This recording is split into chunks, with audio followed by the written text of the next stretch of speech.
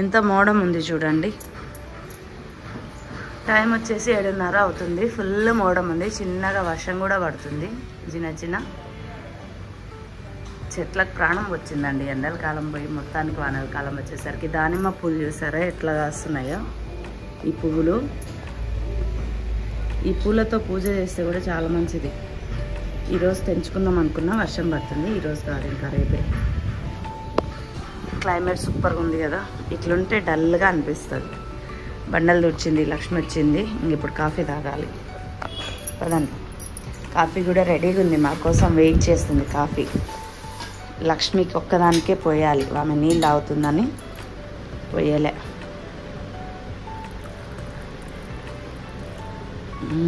చల్ల చల్ల వాతావరణంలో వేడి వేడి కాఫీ.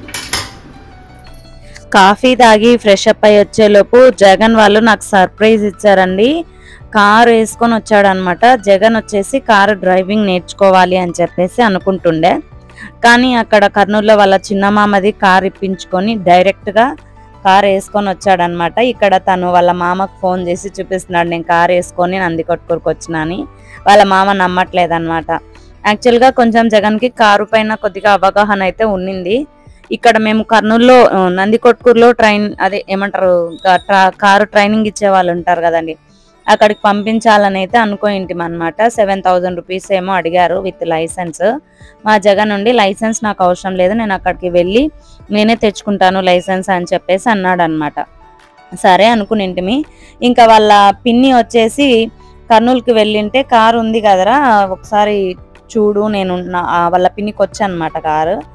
సో అందుకు తను వచ్చేసి నేను ఉంటాను నువ్వు చెయ్యి అని చెప్పేసి చేపించిందంటే. ఎంత బాగా డ్రైవింగ్ చేస్తున్నాడంటే ఇప్పుడు వాళ్ళు నాకు సర్ప్రైజ్ ఇవ్వటం కోసం వచ్చారు. సరే ఇంకా వచ్చారు కదా పిల్లలు వాళ్ళకి టిఫిన్ అన్న పెడదామని చెప్పేసి చపాతి అలాగే ఎగ్ కర్రీ వంకాయ కర్రీ అయితే చేశాను. మా చెల్లి నాన్ వెజ్ తినట్లేదు ప్రస్తుతం పూజలు చేస్తుంది అనమాట అందుకోసం అని చెప్పేసి తనకి వంకాయ కర్రీ చేశాను. పిల్లలకి ఎగ్ కర్రీ అయితే చేస్తున్నాను.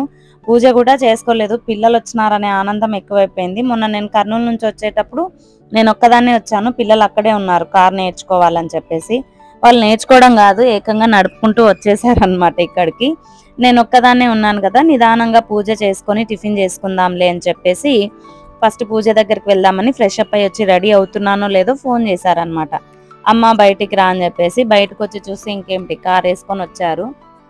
అలాగే మేము మొన్న ఊరికే వన్ డేలో వెళ్ళి వస్తాం కదా అని చెప్పేసి వెళ్ళాం కదా బట్టలు ఏం తీసుకెళ్ళలేదు ఎక్కువగా. పిల్లలవి బట్టలు ఇక్కడే ఉండిపోయాయి ఇంకా వాళ్ళు కూడా బట్టలు తీసుకున్నట్టుగా ఉంటుంది. అలాగే అమ్మకు ఎక్కించుకొని కార్లో తిప్పినట్టుగా ఉంటుంది. అమ్మకు సర్ప్రైజ్ ఇవ్వాలి అని చెప్పేసి వచ్చారు. యాక్చువల్గా వీళ్ళు నిన్న మంచిగా కారు డ్రైవింగ్ చేస్తూ ఎయిర్పోర్ట్ వరకు వెళ్ళొచ్చారంట. ఆ వీడియో కూడా నేను మీకు నెక్స్ట్ డేలో షేర్ చేస్తానులేండి. ఇప్పుడు కార్లో వెళ్తున్నాం. పదండి పోదాం. పూజ కూడా ఈరోజు నేను హడావిడిగానే చేసుకొని పువ్వులైతే అలా పెట్టేసుకొని అమ్మకి క్షమించమ్మా అని చెప్పేసి అమ్మకు ఇంకా టిఫిన్ కూడా సరిగ్గా తినలేదు తినాలని కూడా అనిపించలేదులేండి ఆనందంతో. ఇంకా వర్షం పడుతున్నా కూడా అందరం కారులో బయలుదేరామన్నమాట. ఎక్కడికి వెళ్తున్నామంటే ఈరోజు వచ్చేసి మా ఊరికి వెళ్తున్నాము. వాళ్ళ డాడీకి చూపించటానికి అనమాట సో తను డ్రైవింగ్ నేర్చుకున్నాడు కదా. వాళ్ళ డాడీని కూడా ఎక్కించుకొని తిప్పాలి అని చెప్పేసి తట్టూరుకి అయితే బయలుదేరాము. వర్షం చూసారా ఎలా పడుతుందో? సో ఈ వర్షంలో జగన్ ఆ కార్ నడుపుతాడో నడపడో వస్తుందో రాదో అని చెప్పేసి నేను కొంచెం ఫస్ట్ అయితే టెన్షన్ పడ్డాను. కానీ మా చెల్లి మాత్రం బాగా నడుపుతున్నాడు లేవాడు నువ్వేం టెన్షన్ పడొద్దు అని చెప్పేసి చెప్పేసరికి బండి మీద పోతుంటాం ఈరోజు కార్లో పోతున్నాం నా గొడుగు డ్రైవింగ్ చేస్తున్నాడు. నిజంగా నాకైతే ఎంత ఆనందం అనిపించిందంటే గట్టిగా అరచాలి అన్నంత హ్యాపీనెస్ అయితే అనిపించింది. గట్టిగా కేకలు వేయాలి అనిపించింది. ఆ సాంగ్స్ పెట్టుకొని నా పిల్లలు ఇద్దరితో ఇలా కార్లో డ్రైవింగ్ చేస్తూ ఉంటే నిజంగా చాలా చాలా హ్యాపీగా ఫీల్ అయిపోయాను. ఇది నా లైఫ్లో బెస్ట్ మెమరీ అని చెప్తాను నిజంగా నేనైతే. ఇది నా లైఫ్లో ఎప్పటికీ గుర్తుండిపోతుంది. యాక్చువల్గా మేము డ్రైవింగ్ నేర్పించాలి అంటే ఇక్కడ మాట్లాడుతూ ఉన్నాం అన్నమాట ఇంతకు ముందుకే వాడు కొంచెం వాటి మీద ఒక అవగాహన అయితే ఉండిందనమాట క్లచ్ ఏంటి గేర్ ఏంటి ఎట్లా చేయాలి ఏంటి అన్నది కొంచెం అవగాహన ఉంది కాబట్టి తొందరగా వాటిని క్యాచ్ చేసుకోగలిగాడు. ఇక్కడ పొరకలమ్మ చేటలమ్మ దగ్గర నమస్కరించుకొని బయలుదేరాం. స్లోగానే వెళ్తున్నాము. మా ఊర్లో ఫుల్ వర్షం ఉందండి. అలా నంది కొట్టుకు దాటామో లేదో అక్కడ నుంచి అసలు చుక్క వాన లేదు ఇదంతా. చూసారా ఎట్లా ఉందో? నందికొట్కులో మాత్రం ఫుల్ వర్షం పడుతుంది. తర్తూరు అంచె దగ్గరకు వచ్చామో లేదో వర్షం అనేది లేదు.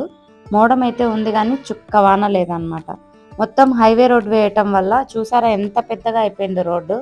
మా ఊరికి ఇంత పెద్ద రోడ్డు పడుతుందని నేనైతే ఎక్స్పెక్ట్ చేయలేదు నిజంగా. హైవే తీసారనమాట ఇటు సైడ్. ఇలా స్ట్రైట్గా వెళ్ళారంటే ఇది హైవే వెళ్తుంది. ఇక్కడ వచ్చేసి పల్లెటూర్లకు వెళ్ళేటటువంటి బస్సులు వెళ్తాయి. మా తర్తూరు ఆర్చి అన్నది బాగా క్లియర్గా కనిపిస్తుంది అనమాట చెట్లన్నీ కొట్టేశారు కాబట్టి ఎంత దూరంలో ఉన్నా కూడా బాగా కనిపిస్తుంది కానీ మొత్తానికైతే మా ఊరి ఆ అంచు అన్నది మెయిన్ అయిపోయింది అనమాట ఇప్పుడు. ఇది వచ్చేసి మా ఊరికి వెళ్ళే దారి అనమాట అంచు నుంచి టర్న్ అవ్వాలి స్ట్రైట్గా వెళ్ళామంటే మనకు విజయవాడ శ్రీశైలం వెళ్ళే రూట్ వస్తుంది. అమ్మా పుదక. వాడు కారు నడుపుతున్నాడు బయట. తోటకు ఏదన్నట కార్లా. కారు నడుపుతున్నాడు కారు ఎక్కడిది? ఫోన్ డాడీ కాడికే పోయేది. వస్తాడేమో. మళ్ళీ వద్దాం రా తీసుకురావాలా? ఏం వద్దురా? ఇగో. ఇంటి మేము ఊరికి వెళ్ళి వాళ్ళ నానమ్మని ఎక్కించుకొని పోదాం. ఎంతో హ్యాపీగా ఫీల్ అవుతుంది అనుకున్నాం. కానీ మేము అనుకున్నంత మేము ఊహించినంత హ్యాపీగా అయితే ఫీల్ అవ్వలేదు. తను అంటే తను అలా ఎక్స్ప్రెస్ చేసింది అనమాట తన ఆనందాన్ని. సో మొత్తానికైతే వాళ్ళ నానమ్మను వాళ్ళ నాన్నను ఎక్కించుకొని తోట దగ్గరికి అయితే వెళ్ళేసి వచ్చాము సో వాళ్ళ నాన్న అయితే చాలా హ్యాపీగా ఫీల్ అయిపోయాడు. బాగా నడుపుతున్నావు నాయన ఇంకా లైసెన్స్కి పెట్టుకో అని చెప్పేసి చెప్తూ ఉన్నాడు అనమాట ఇంకా కొన్ని రోజులు బాగా నడిపితే ఇంకా కొద్దిగా ఎక్స్పీరియన్స్ అన్నది వస్తుంది. సో మొత్తానికైతే మేము మా ఊర్లో మా కొడుకు డ్రైవింగ్ చేస్తూ ఉంటే తోట దగ్గరికి అయితే వెళ్ళేసి వచ్చాము చాలా హ్యాపీగా అనిపించింది నాకు. ఇది లైఫ్లో స్వీట్ మెమొరీ నా లైఫ్ నన్ను ఇక్కడ వదిలిపెట్టి కర్నూలుకి మళ్ళీ వెళ్ళింది నేను వచ్చేటప్పుడు పూల చెట్లు తెచ్చుకున్నా. ఇవి వచ్చేసి గన్నేరు పూల చెట్టు మందార పూల చెట్టు ఐదు రకాల తెల్ల పూల చెట్టు తెచ్చుకున్నా. ఇవి ఇప్పుడు వర్షం పడుతుంది కదా అక్కడ నాడదామని చెప్పేసి ఖాళీ ప్లేస్లో అట్లనే ఇవి ఏంటో తల్ తెల్లేరు నల్లేరు అని చెప్పేసి అమ్మ నిన్న పంపించింది. ఇవి కూడా నాటుకున్నాం.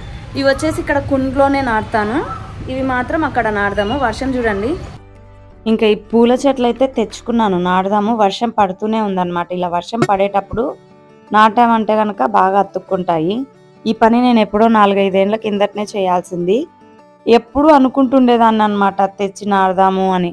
కానీ అంత టైం కుదరలేదు అటువంటి అవకాశం కూడా రాలేదు. ఇంకా వచ్చేటప్పుడు మా ఊర్లో కనిపించినాయి అన్నమాట మందార పూల మొక్కలు తర్వాత గన్నేరు పువ్వులు. గన్నేరు పూలవే మూడు రకాలు తెచ్చాను అనమాట ఒకటి తెల్ల గన్నేరు అవి ఐదు రెక్కలు ఉంటాయి చూడండి అది. ఇంకొకటి ఐదు రెక్కలది పింక్ కలర్ది. ఇంకొకటి వచ్చేసి గన్నేరు పూలు ముద్ద గిన్నెరు అని చెప్పేసి గులాబీలాగా నాటు గులాబీలు ఉంటాయి చూడండి. అలా ఉండేటటువంటి గిన్నెరు పూల మొక్క ఒకటి తీసుకొచ్చాను. సో ఇక్కడ నాటుదాము ఇంకా ఈ చెట్లకు నీళ్ళు పోసేటప్పుడు ఆహా పాపం నీళ్ళు కూడా పోస్తాడు అన్న ఉద్దేశంతో అడిగాను అనమాట పోస్తానులే అంటే అన్నాడు. అన్న ఉద్దేశంతో తీసుకొచ్చాను. తీరా నేను చెట్లు నాటుదామని చెప్పేసి కిందికి దిగుతూ ఉన్నానో లేదో మా షమీలు వచ్చేసి ఇవతల పాము తిరుగుతుందంటే జాగ్రత్త అని చెప్పేసి చెప్పింది అనమాట అయ్యో ఇప్పుడు ఎందుకురా చెప్పినావు? నేను నాటొచ్చినాక చెప్పిండాల్సిందంటే అయ్యో పెద్ద పామేం కాదులే అంటే వెళ్ళి మూడు రోజుల కిందటైతే వరుసగా కనిపించింది మళ్ళీ ఇప్పుడు కనిపిస్తలేదు అని చెప్పేసి అయితే అనింది. అయినా కొంచెం టెన్షన్ అయితే ఉన్నిందనమాట పాము కనిపిస్తుందేమో కనిపిస్తుందేమో అని చెప్పేసి.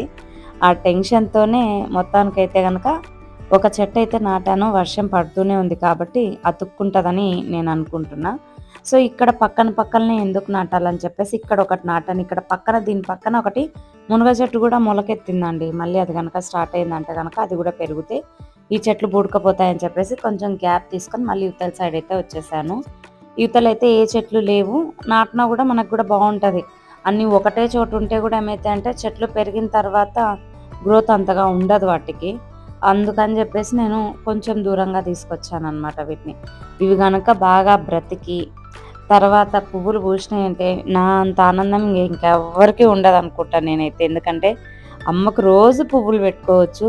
పువ్వులు లేకుండా పూజ చేయాలంటే అస్సలు చాలా బాధ అనిపిస్తుంది నాకు. ప్రతిరోజు పువ్వులు కొనుక్కోవాలంటే వంద రూపాయలు సరిపోతలేవు. వంద పెట్టినా కూడా పువ్వులు సరిగా రావట్లేదు. ఇంక ఈ మొక్కలన్నీ నాటేసేసి షాప్కి అయితే వచ్చేసరికి కొంచెం లేట్ అయింది. కానీ వర్షం పడుతుంది కదా. ఎవరు వస్తారులేని ఒక పది నిమిషాలు అట్లా లేట్గానే వచ్చానులేండి. ఇంటి దగ్గర మళ్ళీ జాక్కి కొంచెం పాస్ పోపించేసి దాన్ని రూమ్ లోపల పెట్టేసేసి వచ్చాను. సో వచ్చి ఇంకొక బ్లౌజ్ ఉన్నిందనమాట ఇది మొన్న ఇచ్చి వెళ్ళారు. సింపుల్ డిజైన్ చాలా బాగుంటుంది ఇది. ఆ డిజైన్కి మార్కింగ్ వేసి పెడదాము ఖాళీగా ఎందుకు ఉండడం అని చెప్పేసి మార్కింగ్ అయితే వేసుకుంటున్నాను. సో నేను ఇది మార్కింగ్ వేసుకుంటూ ఉండగానే కస్టమర్లు అయితే వచ్చారనమాట ఒకటి వర్క్ కుట్టించి ఇవ్వాలి అని చెప్పేసి సో వాళ్ళతో మాట్లాడుతూ నా పని నేను చేసుకుంటూ ఉన్నాను. వాళ్ళు నాతో మాట్లాడుతూ నేను చేసే పనిని అబ్జర్వ్ చేస్తున్నారనమాట ఏం మాట్లాడుకుంటున్నాం ఏంటన్నది కూడా నేను వాయిస్ అలాగే పెడదాం అనుకున్నాను. బట్ కాకపోతే ఏంటంటే కొంతమందికి ఇష్టం ఉండదండి. అందుకని చెప్పేసి నేను అడిగాను. వాళ్ళు వద్దు అని చెప్పేసి అన్నారు. ఏం మాట్లాడారు ఏంటన్నది ఇప్పుడు నేను చెప్తాను. సో వాళ్ళకి యాక్చువల్గా వచ్చి వర్క్ నేర్చుకోవాలని కానీ ఏదైనా పని చేయాలి ఏదో ఒకటి వర్క్ చేసుకోవాలని ఇష్టం అంట బట్ వాళ్ళ ఇంట్లో వాళ్ళు వద్దు అని చెప్పేసి అంటారంట. సో అమ్మాయి చాలా ఫీల్ అయిపోతుంది అనమాట నాకు కూడా ఇలా చేసుకోవాలని ఇష్టం అక్క. కానీ ఇంట్లో పని చే నువ్వు ఇంట్లో పని చేసుకో చాలు కానీ అని చెప్పేసి అంటారు. అప్పుడు చాలా బాధ అనిపిస్తుంది.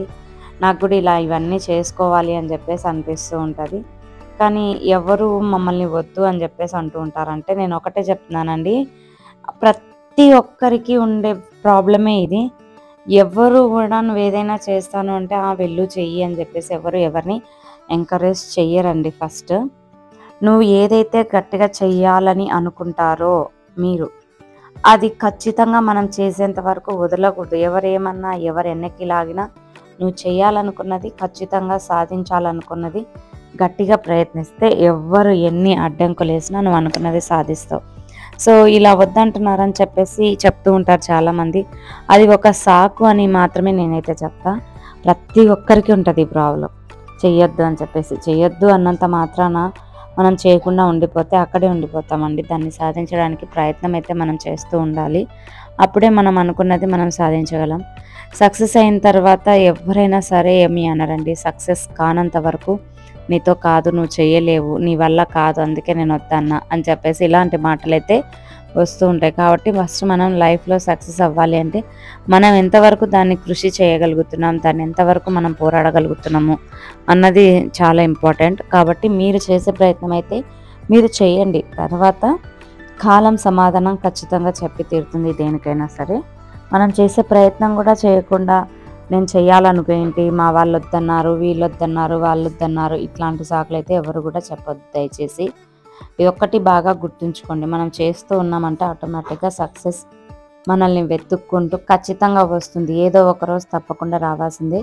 కాకపోతే కొంతమందికి తొందరగా సక్సెస్ వస్తుంది. ఇంకొంతమందరికి కొంచెం లేటుగా వస్తుంది అంతే. అది వచ్చేంత వరకు వెయిట్ చేయడం తప్ప మనం చేసేదైతే ఏమీ లేదు. మనం చేసే ప్రయత్నం అయితే పక్కా చేయాలి. సో ఇదే నేను చెప్పాలనుకున్నది ఇదే మేము మాట్లాడుకునేది కూడా. సో మీరు కూడా ఏదైనా చేయాలనుకుంటే తప్పకుండా చేయండి. ఇదండి ఈరోజు ఈ వీడియో. మరొక మంచి వీడియోలో మళ్ళీ కలుద్దాం. బాయ్ అండి.